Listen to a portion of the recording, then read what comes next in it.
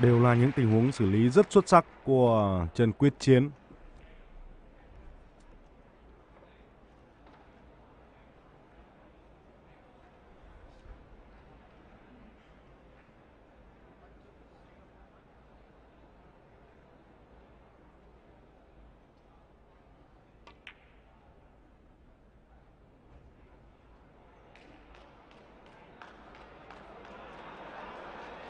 sẽ là điểm tiếp theo.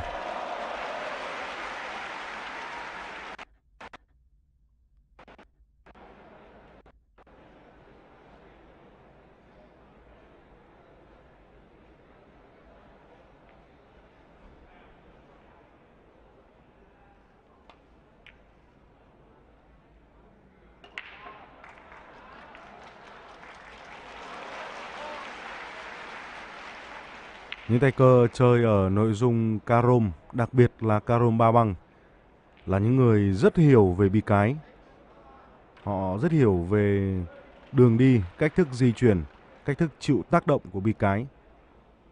Họ thực sự là những ông chủ của bàn bi. Lúc này thì quyết chiến đã dẫn trước với tỷ số 8-0. Rõ ràng là ở nội dung carom này thì các tay cờ của Việt Nam đang thể hiện được sức mạnh gần như tuyệt đối ở SEA Games cũng như là ở ngay cả đấu trường thế giới. Ông FNRS ngày hôm qua đã ờ, thua Nguyễn Trần Thanh Tú ở nội dung Caro một băng, đó là trận đấu bán kết với một cách biệt tương đối lớn. Ở trận đấu đó thì thậm chí là Thanh Tú của Việt Nam ở phần trả lời báo chí sau khi trận đấu kết thúc đã thừa nhận rằng đôi đôi lúc anh đã chủ động đánh trượt bi để ông Efenres có thể ra bàn và có những cú đánh biểu diễn bởi chính anh và người hâm mộ ở nhà thi đấu Hà Đông đều rất chờ đợi sự xuất hiện của lão tướng này, một huyền thoại của làng bia thế giới.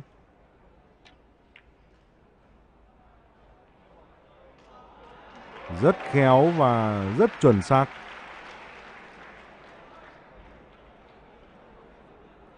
Tỷ số bây giờ đã là 11-0 rồi. Trong một ván đấu chạm 40.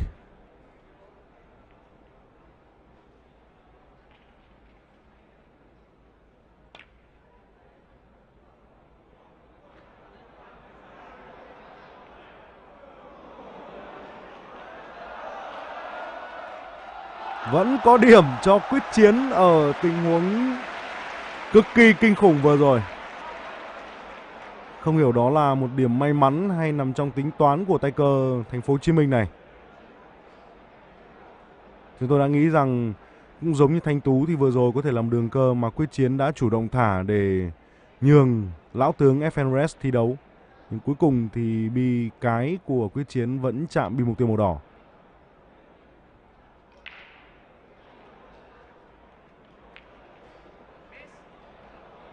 Vừa rồi là tình huống mà quyết chiến đã thực sự thực sự nhường lượt đánh cho FN Reyes thưa quý vị.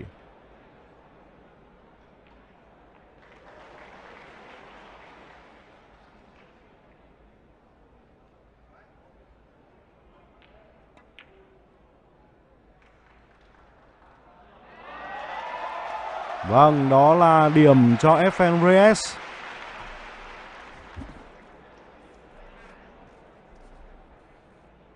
FN Reyes là một ngôi sao bình dân. Ông là người đã kiếm được rất nhiều tiền trong suốt sự nghiệp lẫy lừng của mình. Nhưng gần như là mọi tài sản của ông đều được sử dụng cho các mục đích từ thiện và đặc biệt ông cũng không phải là người sống quá xa hoa. Rất gần gũi với những người dân Philippines. Và bây giờ khi FN Reyes đến Việt Nam thì chúng ta có thể cảm nhận được sức lan tỏa mà tình yêu dành cho ông đã có ở trong những người hâm mộ bia thế giới. Ngay cả với những đối thủ của ông nữa, mọi người đều rất trân quý. Lão cơ thủ có thể gọi là huyền thoại của huyền thoại này. Quá hay! Có điểm không? Có điểm không? Như vậy là bi cái của FNRS đã không chạm bi mục tiêu thứ hai ở tình huống vừa rồi. Như vậy là trong lượt cơ vừa rồi thì ông Efenres ghi được 2 điểm.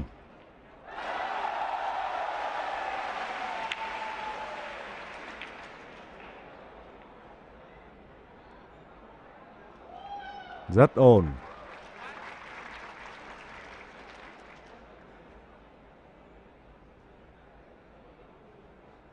Quý Chiến vừa có được điểm số thứ 13. Có lẽ sẽ không có khó khăn nào để Quyết Chiến có thể giành chiến thắng ở trận đấu tứ kết này. Nhưng cũng giống như Thanh Tú ngày hôm qua ở nội dung caro một băng thì được thi đấu với huyền thoại FNRS là một vinh dự cho bất cứ một tay cơ nào, ngay cả những tay cơ hàng đầu thế giới ở thời điểm hiện tại như quyết chiến của chúng ta. Vừa rồi lại là một tình huống mà quyết chiến đã thả bi để ông FNRS có cơ hội thi đấu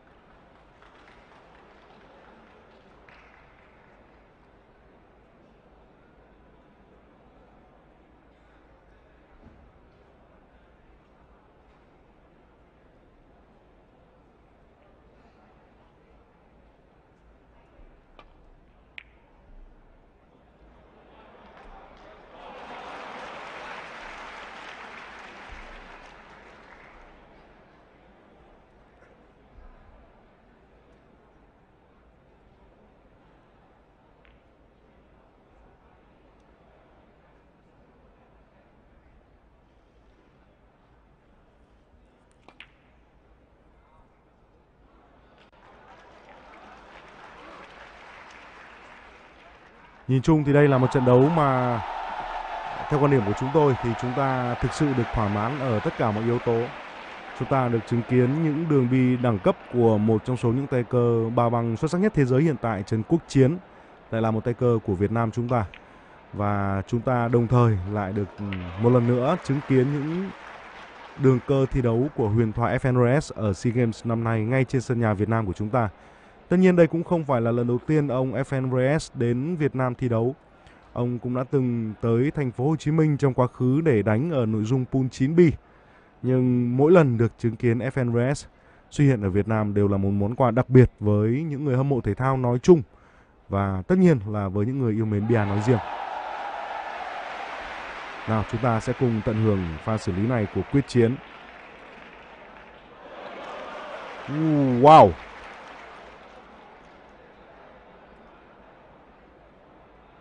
Đúng là một trận đấu mang đậm tính tận hưởng, thưa quý vị đối với chúng ta.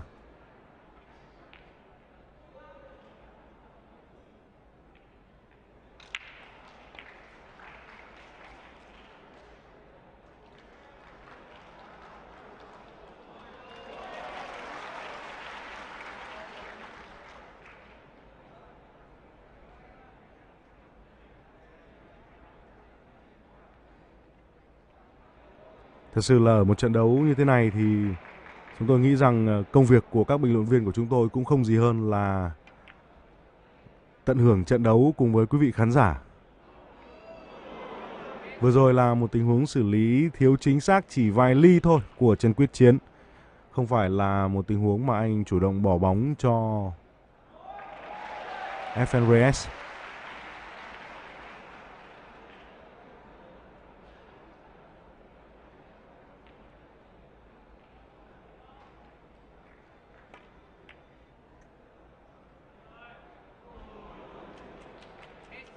Rõ ràng là chúng ta có thể thấy sự chênh lệch về mặt trình độ trong những pha xử lý ở nội dung carom này của các vận động viên Việt Nam với các vận động viên Philippines là xa như thế nào.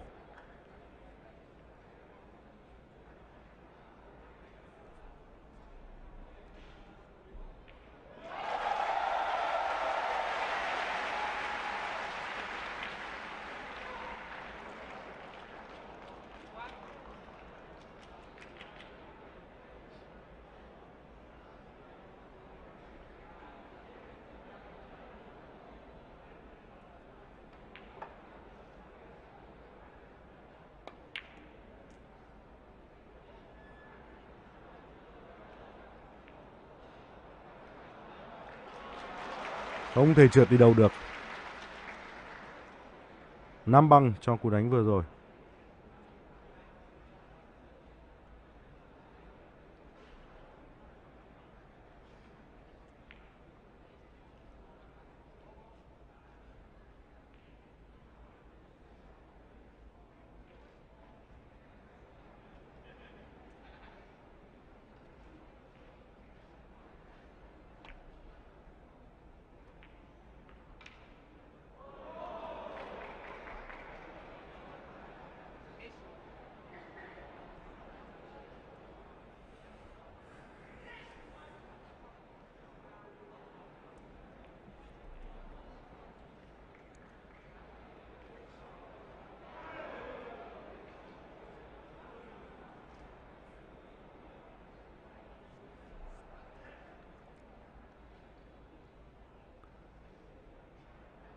Từ các con máy tường thuật ở nhà thi đấu Hà Đông thì chúng ta cũng có thể thấy được ngay cả các tay cơ thi đấu ở những bàn bên cạnh khi có thể vẫn cứ quay sang để quan sát FNRS. Có thể không phải là quan sát ông thi đấu mà là chỉ để được nhìn tận mắt huyền thoại này mà thôi. Một ngôi sao có thể nói là độc nhất vô nhị trong làng bia thế giới.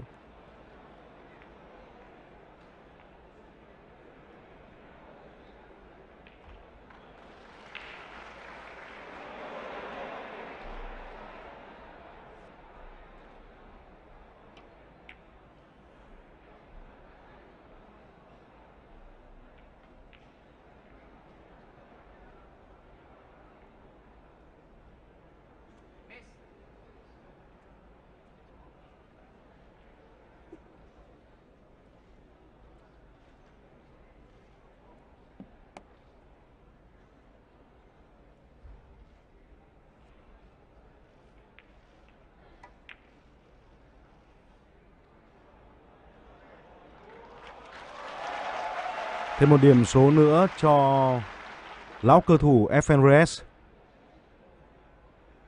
Vừa rồi mới là điểm số thứ ba của ông ở trận đấu ngày hôm nay.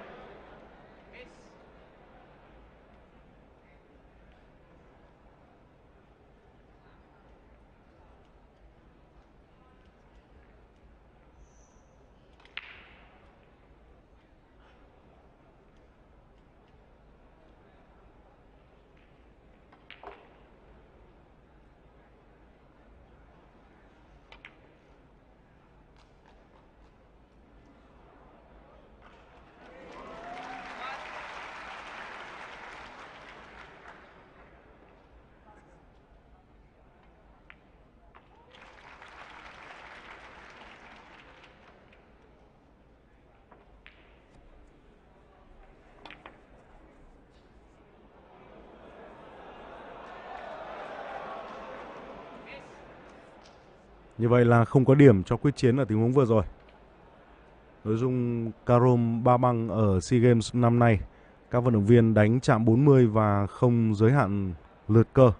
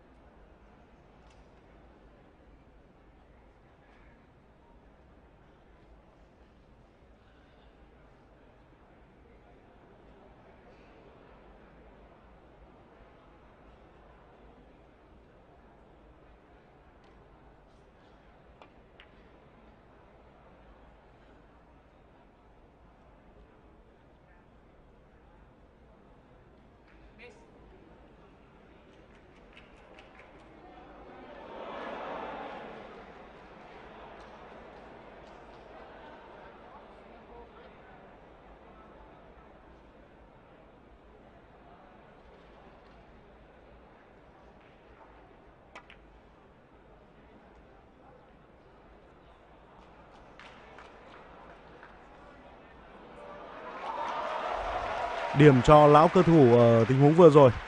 Đó là điểm số thứ tư của FNRS ở trận đấu hôm nay. Điểm số thứ năm, chính xác là như vậy thưa quý vị và các bạn.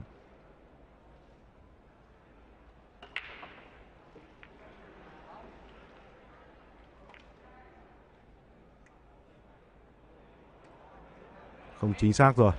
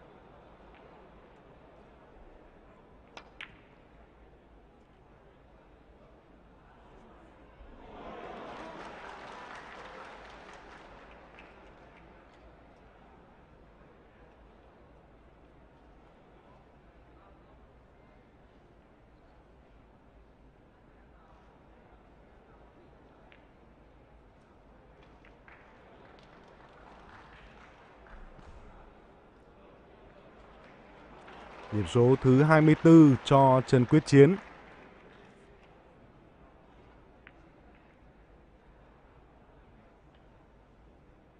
Hiệu quả thi đấu giữa hai tay cờ là điều có thể thấy rõ.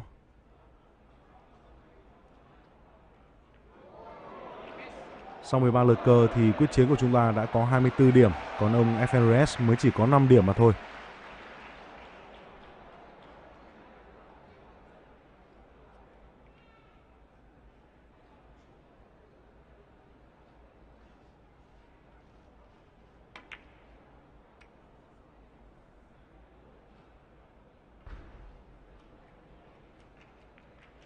Có thể thấy là những pha đánh của lão cơ thủ FNRS rất thoải mái và không có quá nhiều toan tính chặt chẽ ở trong đó.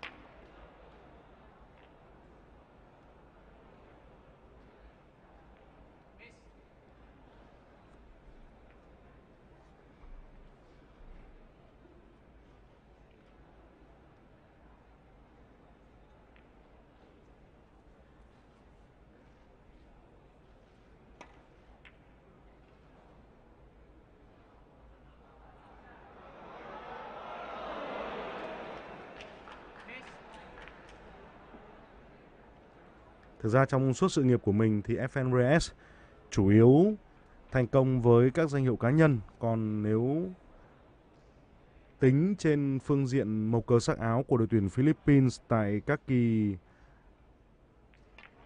đại hội thể thao lớn thì ông thi đấu không thực sự thành công.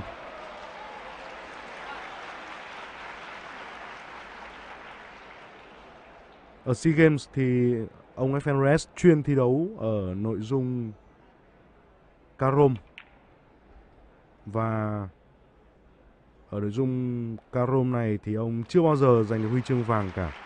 Ông giành huy chương bạc nội dung một băng ở 2011 SEA Games tổ chức tại Palembang, Indonesia, ở Myanmar 2013, ở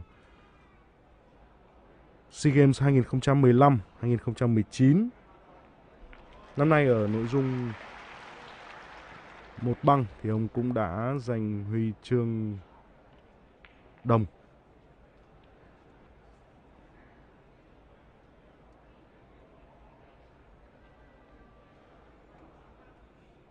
Huy chương vàng duy nhất, chính xác là lão cơ thủ FNRS có hai huy chương vàng SEA Games, nhưng là ở các nội dung snooker và bia Anh. Ông vô địch hai nội dung này đều ở kỳ SEA Games năm 1987 được tổ chức ở Indonesia.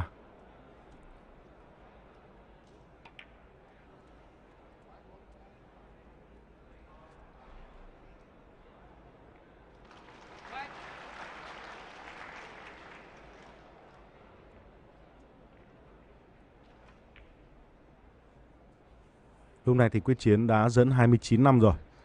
Chắc chắn là anh sẽ giành chiến thắng ở trận này, không có một kịch bản nào khác. Điểm số thứ 30 cho tay cơ của Việt Nam.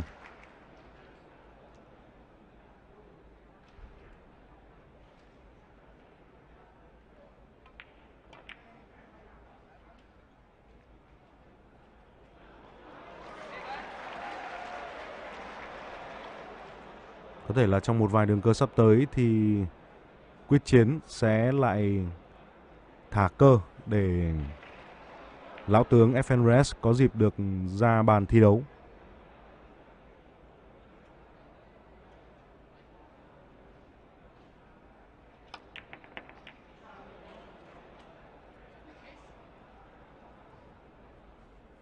Chúng tôi vừa nhắc tới khả năng đó thì quyết chiến đã thực hiện một tình huống đánh không có điểm.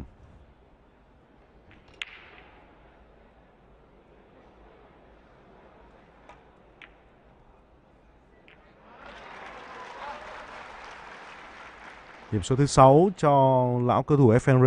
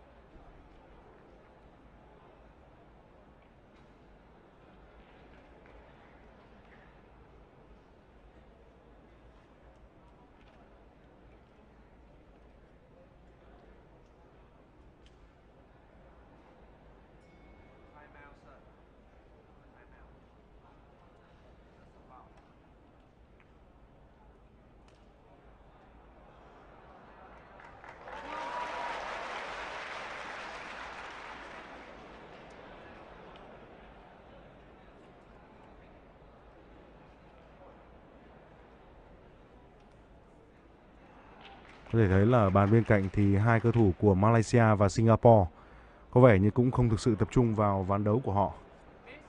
Vì sự xuất hiện của huyền thoại FN Reyes ở ngay phía bên cạnh.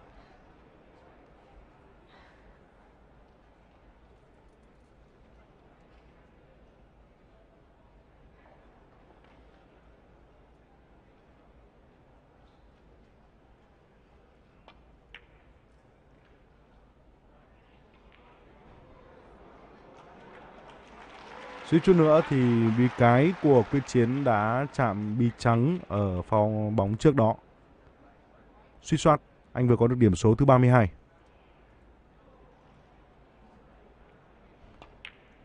Có lẽ là quyết chiến sẽ xử lý thêm một giây điểm nữa trước khi có thể nhường lão cơ thủ FN thêm một vài đường cơ và sau đó sẽ kết thúc trận đấu. Số bây giờ đã là 33-7 rồi.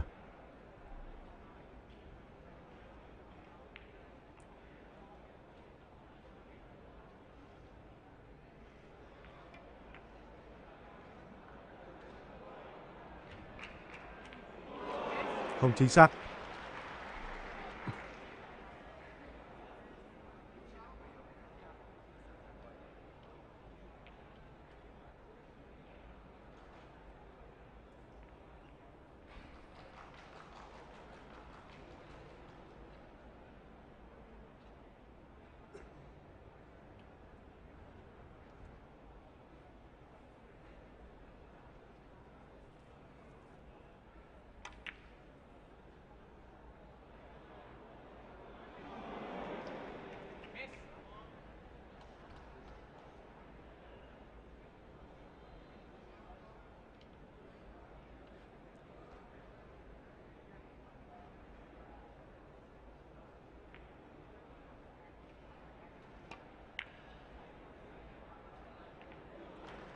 Điểm số thứ 34 cho quyết chiến.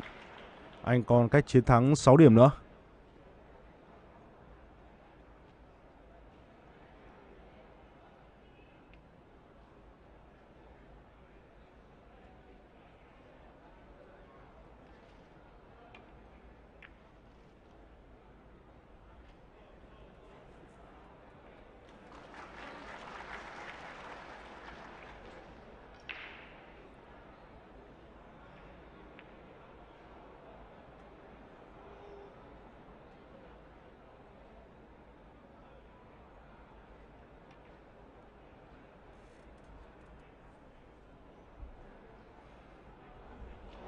Không được. Như vậy là không có điểm cho quyết chiến ở tình huống vừa rồi.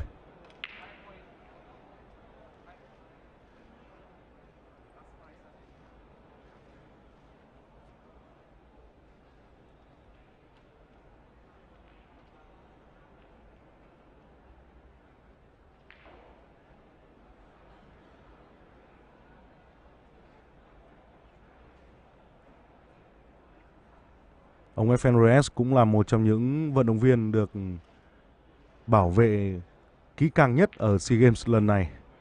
Lý do đơn giản bởi ông là cái tên được săn đón nhiều nhất, thưa quý vị và các bạn. Ai cũng muốn được chụp ảnh với FN Reyes.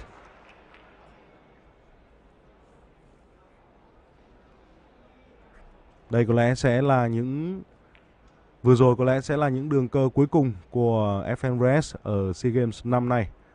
Bởi bây giờ đến lượt quyết chiến và anh còn cách chiến thắng 5 điểm nữa.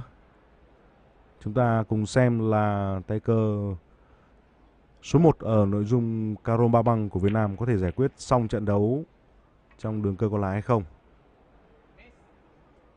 Tương đối khó và như vậy là đường cơ tiếp theo dành cho FNRS.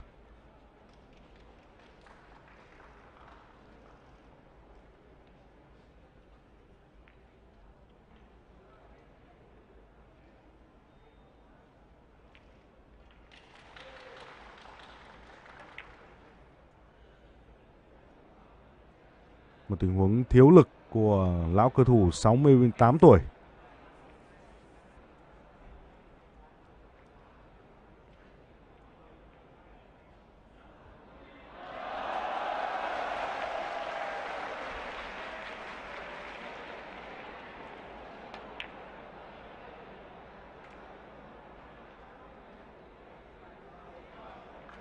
Rất tuyệt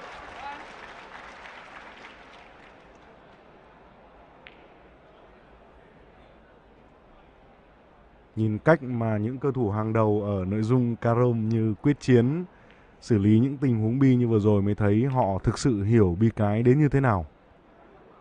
Và họ kiểm soát được mọi thứ diễn ra trên bàn bi tốt đến như thế nào.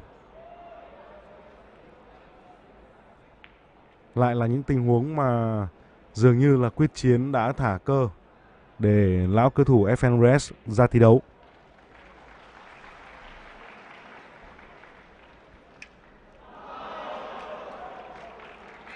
Nhưng rõ ràng là ở tuổi 68 thì có lẽ cụ cũng không còn đủ khả năng để thi đấu những trận dài nữa rồi. Còn 4 điểm nữa cho quyết chiến.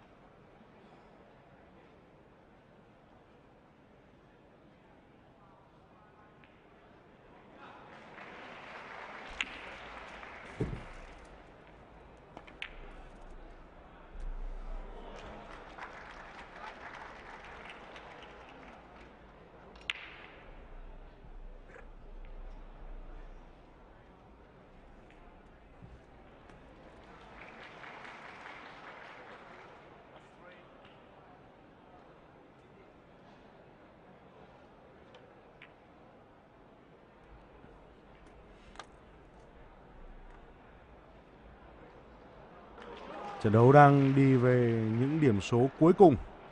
Vừa rồi là điểm thứ 38 dành cho Trần Quyết Chiến.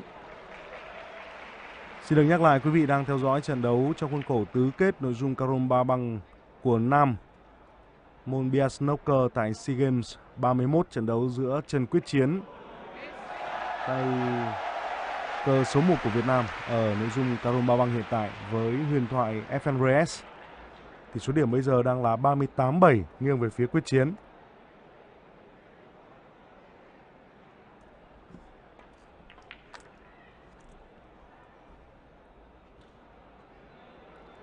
Một trận đấu mà chiến thắng chắc chắn sẽ thuộc về tay cờ của Việt Nam.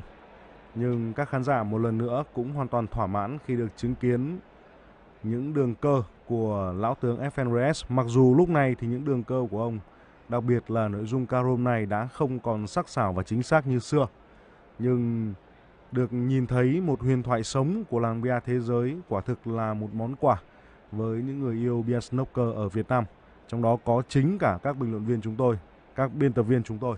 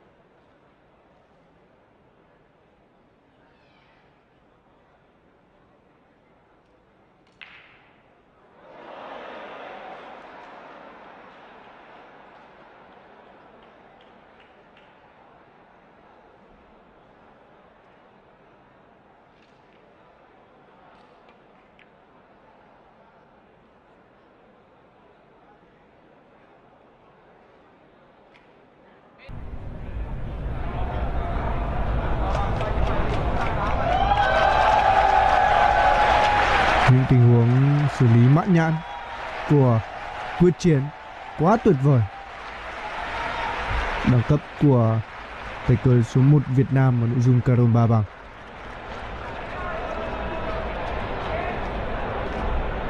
Rất nhiều những tay cờ và cả những thành viên của ban tổ chức cũng muốn có một tấm hình với Efren Reyes dù thế nào ông xứng đáng vẫn là huyền thoại của bia.